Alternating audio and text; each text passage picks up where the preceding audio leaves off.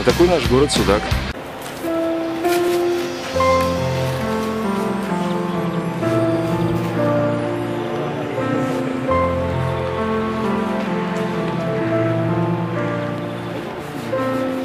Середина, середина марта месяца.